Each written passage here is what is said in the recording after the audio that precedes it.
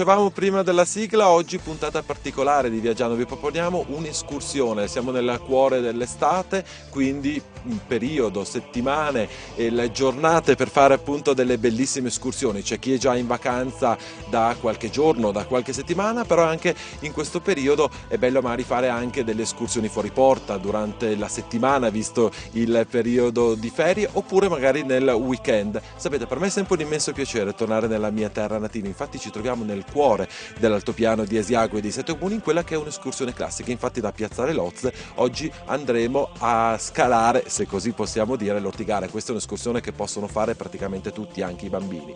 Compagni di viaggio sono eh, gli amici dell'associazione Guide Altopiano, un'associazione di cui parleremo più tardi già eh, presente sull'altopiano da qualche stagione che propone tutte le settimane e tutti i giorni in questo periodo delle bellissime escursioni. Gianni, Anna e Filippo sono gli amici che comunque conosceremo già adesso ma ben in tutto il corso di questa puntata. E Gianni, abbiamo detto questa è un'escursione classica sia per quanto riguarda appunto il tipo di passeggiata ma anche importantissima per quanto riguarda l'aspetto storico. Certo, dal punto di vista ambientale siamo nella parte settentrionale dell'altopiano di sette comuni, quindi siamo sulla zona che viene definita endalpica, cioè quella in cui l'effetto della quota si va a sommare all'effetto della distanza dalla pianura e dalle eh, correnti meridionali calde che arrivano dall'Adriatico.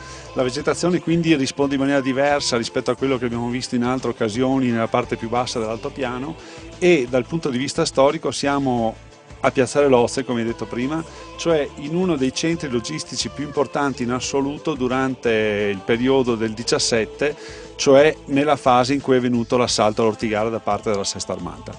L'itinerario che faremo oggi risale da Piazzale Lozze a Cima Campanella e ripercorre un po' quella che è la strada che permetteva l'accesso alle postazioni di prima linea italiane e il, eh, il rifornimento delle truppe che dovevano portare avanti l'offensiva.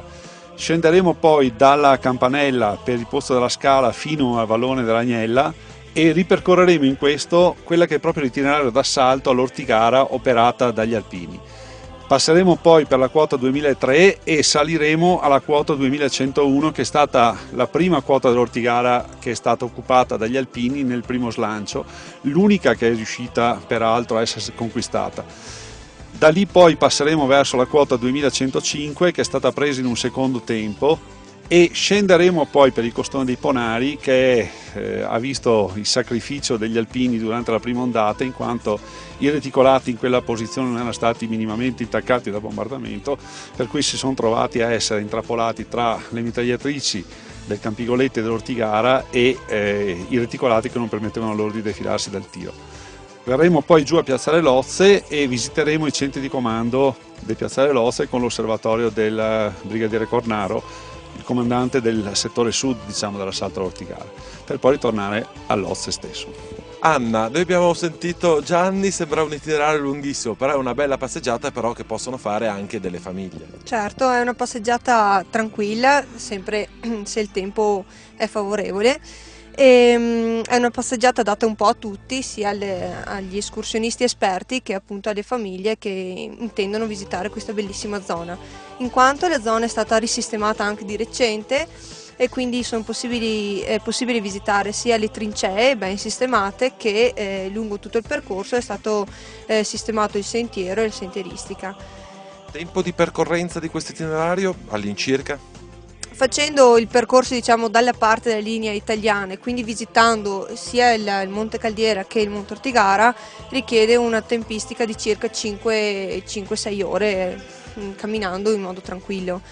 E altrimenti visitando solo l'Ortigara diciamo che 3 ore e mezzo, 4 ore ci vogliono insomma lo stesso. Quindi possiamo dire una bella passeggiata mangiare alle spalle tanta buona volontà, tanta pazienza. Ma a proposito, io sono sempre dell'avviso che quando si viene in montagna bisogna avere un'attrezzatura eh, adeguata, perché non bisogna mai improvvisarsi, perché comunque anche se si parte con una giornata splendida, e purtroppo oggi non è il nostro caso, bisogna comunque sempre eh, stare attenti, perché la montagna è amica, specialmente una montagna dolce come questa, però è sempre giusto andare in sicurezza. Filippo, diamo dei consigli veloci, dopo magari ritorneremo anche nel corso della puntata. Qual è l'abbigliamento giusto e l'attrezzatura giusta per affrontare una passeggiata come questa? Certo, sicuramente. Beh, essenziali sono buona, delle buone calzature, eh, l'utilizzo dei bastoncini che aiutano molto soprattutto nella discesa, stabilizzano un po' la camminata, portarsi uno zaino con dei, del cibo o dell'acqua, l'acqua è molto importante perché comunque ad alte quote si rischia la disidratazione abbastanza velocemente,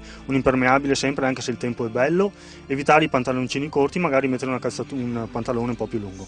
Allora, abbiamo dato già fatto una bella presentazione, abbiamo presentato i nostri compagni di viaggi, a questo punto andiamo alla scoperta di Cimo Ortigara.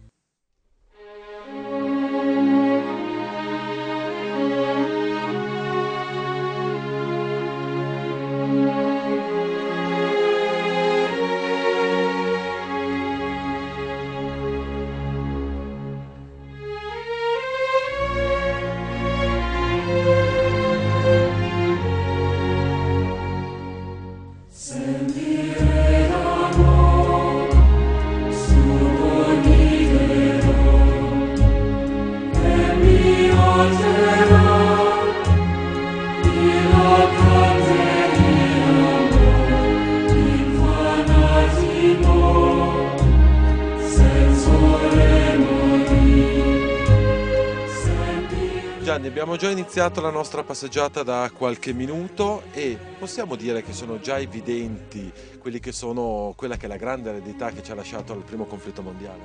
Certo, tra tanti lutti e tante distruzioni sull'altopiano di sette comuni, ma in generale su tutte le zone delle prealpi venete, la Grande Guerra ha lasciato come eredità una rete viaria straordinaria che non aveva nessun motivo d'essere preesistentemente alla guerra perché non aveva senso, visto il basso livello di reddito che permettevano le attività condotte sull'altopiano, lo sviluppo di strutture di questo tipo.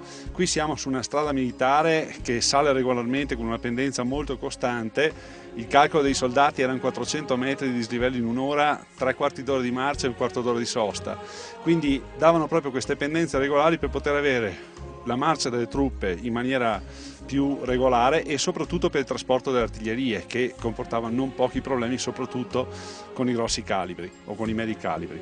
Eh, vi dicevo che leggere il territorio qui significa anche però saperlo interpretare. Ad esempio qui sotto a noi abbiamo il basamento di una baracca che eh, era probabilmente sede o di un comando o comunque di una postazione di controllo della strada che serviva quindi a evitare che le truppe che erano schierate in prima linea potessero eventualmente avere ripensamenti e tornarsene a casa, cosa che qualche volta qui è successa. In ogni caso, eh, leggere il territorio significa avere però un minimo di competenze preesistenti prima di entrarci, in modo da poter interpretare questi segni presenti dappertutto e che però solo un occhio minimo esercitato risultano significativi. Allora, parlavamo prima di attrezzature giuste, di attrezzature corrette. Qui abbiamo il primo esempio di perché bisogna venire comunque con un paio di pantaloni lunghi e non corti. Perché come potete vedere, come all'inizio della nostra escursione abbiamo dei compagni di viaggio. E questo è il classico esempio di perché uno dei motivi principali per quando si viene in montagna di un abbigliamento con il pantalone lungo. Certamente, beh, i motivi sono molteplici. In questo caso, essendoci imbattuti in un gregge di pecore, può capitare di essere attaccati, essere colpiti da delle zecche. La zecca di per sé non è un grosso pericolo, però in pochissimi casi la zecca può portare un morbo, il morbo di Lyme, che è molto pericoloso, addirittura mortale per l'uomo. Il pantalone lungo ehm, impedisce o almeno limita la possibilità che le zecche vengano a salire lungo le nostre gambe e vadano ad attaccarsi in qualche posto. Altro motivo per cui spesso è consigliato il pantalone lungo in montagna è per evitare quando si attraversano zone magari un po' più disagiate o sassose di essere morsi da qualche vipera. La vipera è presente in tutto l'altopiano, non è neanche questa mortale di per sé per l'uomo, però comunque ehm, provoca diversi fastidi e può portare sicuramente a un ricovero ospedaliero.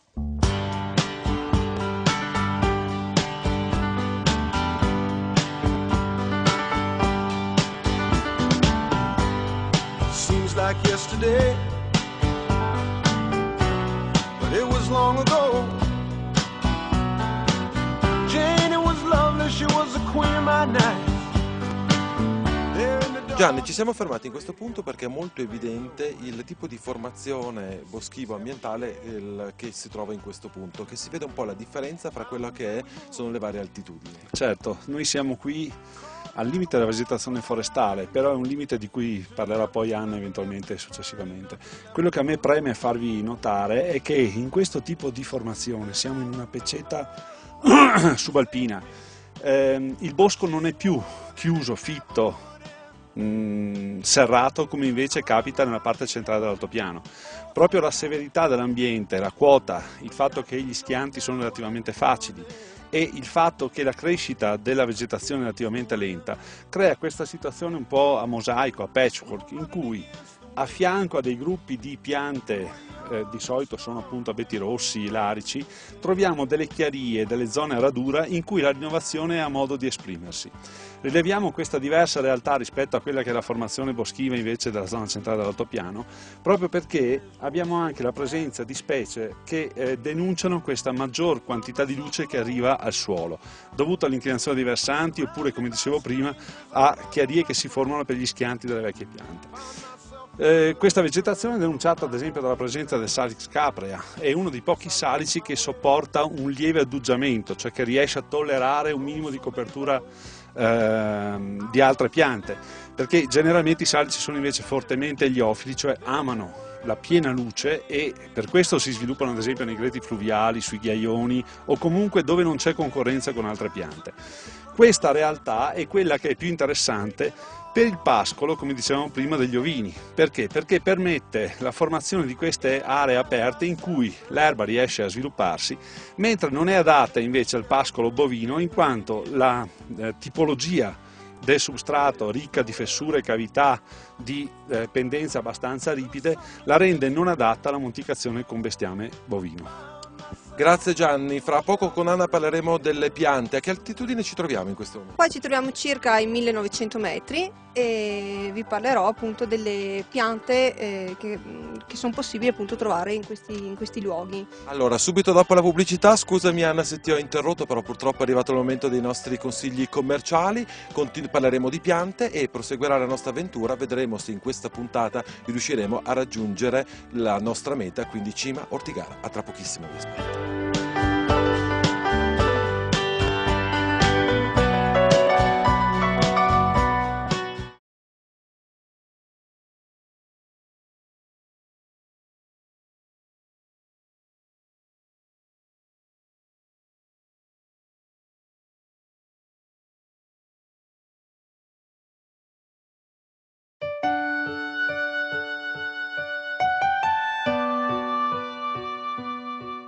Seconda parte di Viaggiando Viaggiando, ben trovato a tutti i nostri amici telespettatori, naturalmente viaggiatori. Voglio ricordarvi che siamo nel Veneto, in provincia di Vicenza, sull'altopiano di Esiago e dei Sette Comuni e precisamente un'ora fa siamo partiti da Cimalozze e la nostra meta è Monte Ortigara.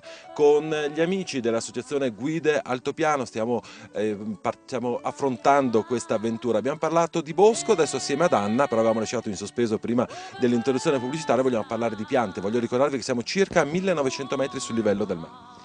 Sì, ehm, come diceva Gianni prima, eh, ci troviamo in una zona dove naturalmente ci sarebbe il bosco, ma come potete vedere ci troviamo su una strada militare e quindi eh, questo ha significato che è stato aperto il bosco. Aprendo il bosco però alcune specie rimangono ehm, all'interno diciamo, delle, delle nostre radure, come ad esempio questo fiore qua che è una luzola nivea, che è un'indicatrice appunto che qui naturalmente ci sarebbe il bosco e eh, invece dall'altra parte, avendo aperto questa radura, rientrano alcune specie che sono indicatrici invece del pascolo, che troviamo invece eh, qui di fronte a noi, e che è la Dactylis glomerata, che è appunto una specie di ehm, erbacea appunto tipica del pascolo.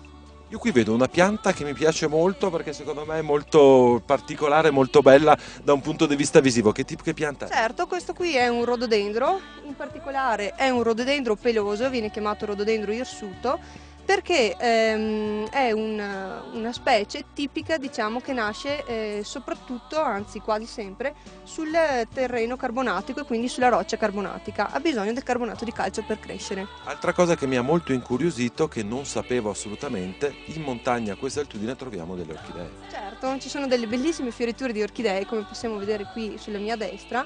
Eh, queste orchidee sono delle orchidee maculate e eh, è molto difficile da vedere che è un'orchidea perché ha il fiorellino molto molto piccolo, però sono delle orchidee meravigliose e eh, assolutamente era è, è proibita la raccolta di queste orchidee. Infatti è lì proprio che volevo arrivare, ricordiamo che queste sono tutte, almeno la maggior parte delle, delle piante dei fiori dove non si possono assolutamente raccogliere.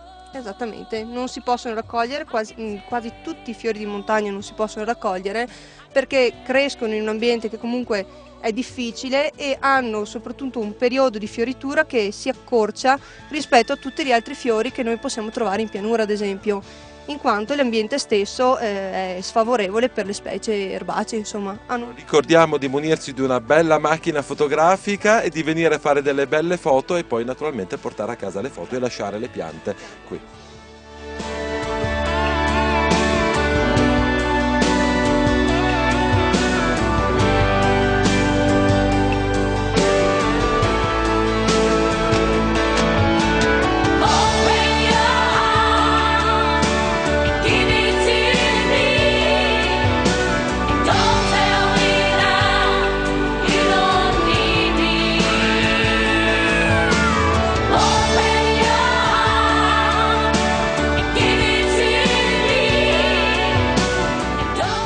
Gianni, sbaglio o in questo punto la salita è leggermente più ripida rispetto alle parti che abbiamo camminato finora?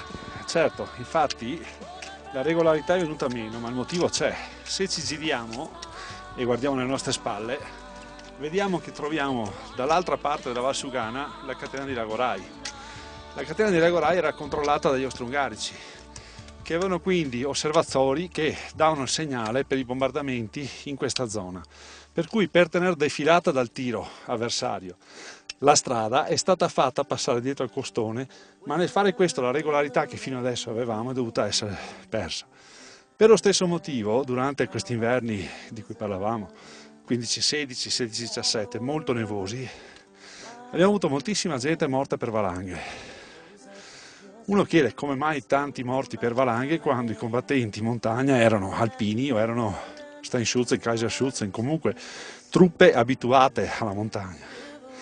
E il motivo è questo, che la valanga scende una volta ogni tanto. Il colpo d'artiglieria avversario arriva sempre, quindi i percorsi erano obbligati per essere defilati dal tiro, ma nel fare questo si mettevano sotto scarica. Si preferiva questo al bombardamento continuo, che era invece quello che succedeva se erano in osservazione. L'altro molto bello il panorama, qui si vede un po' gran parte dell'altopiano. Certo, sullo sfondo abbiamo la verde piana di Marcesina che si comincia a intravedere dietro allo scoglio del cane. Sull'ultimo, eh, sull'ultimo orizzonte abbiamo il Monte Grappa che è però parzialmente coperto dalle nubi, mentre la cima che si vede oltre Marcesina con quell'obelisco sulla cima è Monte Lisser dove c'era uno dei famosi forti italiani forse anche quello più conservato nel senso che non è stato sottoposto a chissà quali bombardamenti perché non è mai praticamente entrato in funzione dal punto di vista bellico e, e quindi abbiamo tutta la parte orientale dell'altopiano di Sette Comuni in piena vista. Tra l'altro in questo punto possiamo fare anche una, un piccolo cenno alla seconda guerra mondiale, perché io ricordo quando andavo a scuola che, il, che i professori, i maestri mi raccontavano sempre una storia proprio che ha eh, la sede proprio qui dietro. Certo, qui siamo a Porta Moline e ehm, se facciamo riferimento ai piccoli maestri, ad esempio il romanzo di Meneghello sulla resistenza nelle prealpi vicentine, eh, c'è una famosa storia che è legata poi alla città di Asiago, perché si parla del Moretto. Il Moretto era un ragazzo di Asiago che eh, girava col carretto a raccogliere latte nelle diverse stalle alla mattina presto e che siccome era molto carino era particolarmente eh, ben voluto dalle ragazze che dopo aver fatto la mungitura aspettavano sempre vicino al secchio per poterlo salutare. Eh, nel 1943 quando c'è stata eh, Ehm, praticamente l'armistizio, eh, la chiamata alla leva fatta dall'esercito della Repubblica Sociale Italiana ha visto qua sull'altipiano moltissimi ragazzi che si sono dati renitenti, tra i quali anche il Moretto che si è unito a delle brigate partigiane che operavano sull'altopiano. Durante i rastrellamenti fatti dai nazifascisti sull'altipiano, in uno di questi, che ha ricordato proprio all'inizio dei piccoli maestri, eh, Meneghello, insieme ai reparti in cui c'era anche il Moretto, si è ritirato progressivamente verso questa parte alta dell'altopiano per cercare di sfuggire all'accerchiamento operato dai tedeschi e dai fascisti. Alcuni di loro si sono salvati perché si sono buttati dentro per delle scafe. Le scafe sono quelle fratture, quelle spaccature nelle rocce che troviamo sull'altopiano di origine carsica di solito, che permettono un po' di nascondersi sul fondo e che se non sono ispezionate bene creano parecchi anfrati di solito, quindi è un, uno dei modi in cui si poteva sperare di salvarsi. Il Moretto invece non è riuscito a defilarsi in questa maniera e schiacciato dal rastrellamento nemico si è trovato praticamente qui al valico di Porta Moline. Eh, l'hanno trovato alla fine della guerra. Non si sa se, eh, come si racconta, si sia gettato giù dai dirupi di Porta Moline per sfuggire alla cattura. D'altra parte la fine che facevano queste persone quando venivano catturate con le armi in mano era piuttosto brutale, o se cercando di svincolarsi scendendo giù verso la Sugana sia precipitato dai salti che ci sono dall'altra parte del versante. Eh, quello che sappiamo è che nel 1945, appena finita la guerra, una delle prime cose che hanno fatto i suoi amici di Asiago è stato farsi dare in prestito dal prete le corde del campanile per potersi calare giù dal versante settentrionale di Porta Moline e recuperare la salma del Moreto che è stata poi tumulata al cimitero di Asiago eh, poco dopo con tutti gli onori. Mi sembrava giusto, visto che eravamo in questo punto, fare appunto questa, questo cenno anche a questo racconto che appunto racconta eh, la vita che c'è stato non solo nel primo conflitto mondiale ma come in questo caso anche nella seconda guerra mondiale. Proseguiamo la nostra escursione.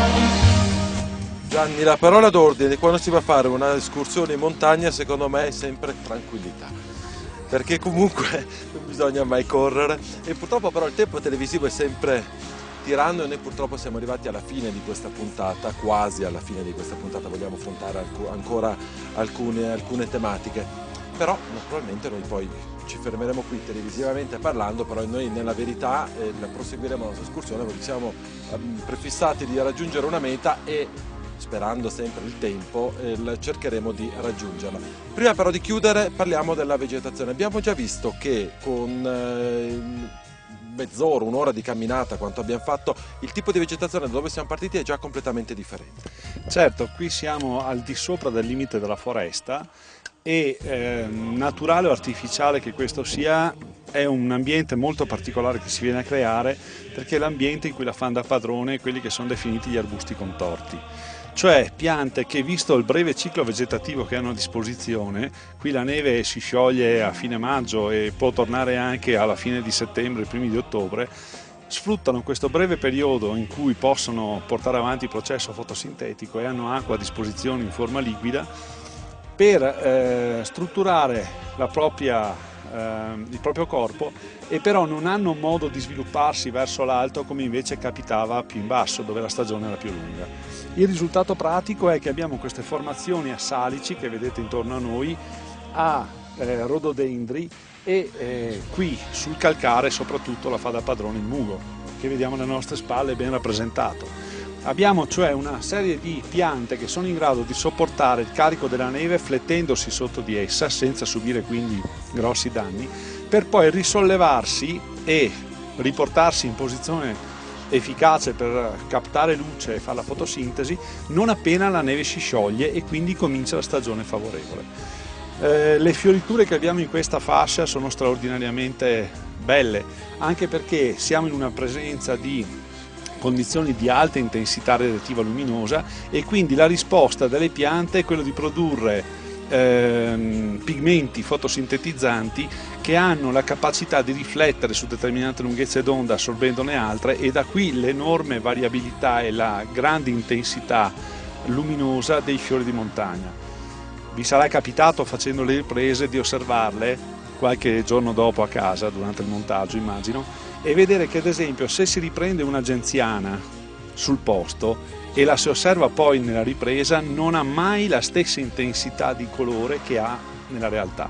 Questo perché il tipo di luce che viene riflessa da questa pianta in alta quota non può essere captata completamente dai meccanismi che utilizziamo per effettuare la ripresa perché ci sono anche lunghezze d'onda non visibili a noi, non percettibili direttamente al nostro occhio, quali ad esempio l'infrarosso o scusate più che l'infrarosso ultravioletto, che però nelle nostre macchine non vengono registrate ma compongono il colore che viene rilevato dal nostro occhio.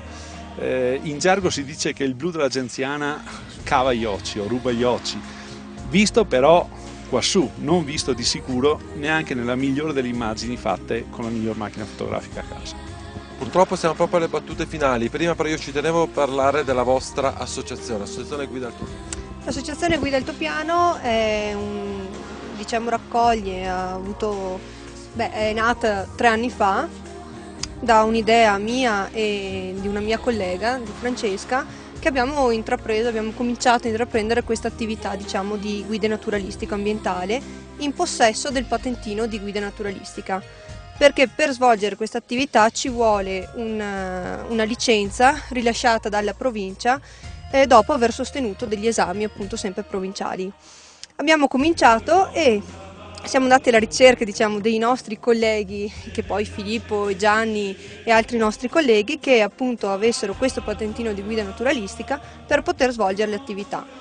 Due anni fa eh, è nata appunto, abbiamo fondato l'associazione Guida il Topiano con l'intento appunto di eh, accompagnare il turista eh, nelle escursioni ma non solo per camminare diciamo, in montagna, anche per fare una vera e propria visita guidata e quindi spiegare sia l'ambiente naturalistico, storico, che ehm, appunto tentare di eh, far conoscere effettivamente qual è la, la vera natura diciamo, del nostro altopiano. Allora, oggi purtroppo abbiamo poco tempo, però ci tengo molto a questa cosa, quindi la settimana prossima approfondiremo. Vuoi dare solamente, visto che comunque siamo in agosto, nel pieno delle vostre escursioni, dei vostri programmi, continueranno anche tutto settembre, fino a ottobre, anche sempre naturalmente tempo permettendo, vogliamo dare dei numeri di telefono, se c'è un sito internet o comunque delle informazioni di servizi ai nostri Certo, il nostro numero di telefono è 349 78 46 205 mentre eh, per maggiori informazioni anche sulle escursioni che sono tantissime sulle nostre attività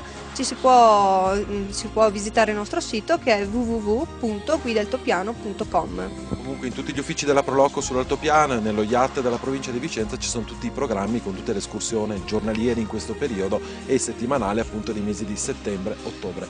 Filippo, purtroppo abbiamo trascurato un po' la parte storica ma recupereremo sicuramente la settimana prossima. Io vi ringrazio, chiusura di puntata voglio ricordarvi il nostro indirizzo di posta elettronica viaggiando-telechiara.it se voi volete mettervi in contatto con noi per richiederci qualsiasi informazione voglio ricordarvi che anche questa puntata già dei prossimi giorni sta, la po- potrete rivedere sul nostro canale YouTube quindi Telechiara Produzione oppure cliccando su qualsiasi motore di ricerca il nome e cognome del sottoscritto quindi Piero Brazzale. Per oggi è tutto, prossima settimana partiremo proprio da questo punto per proseguire questa nostra escursione quindi vi invito a rimanere con noi quindi l'appuntamento è fra sette giorni stessa ora stessa rete come di consueto viaggiate assieme a noi.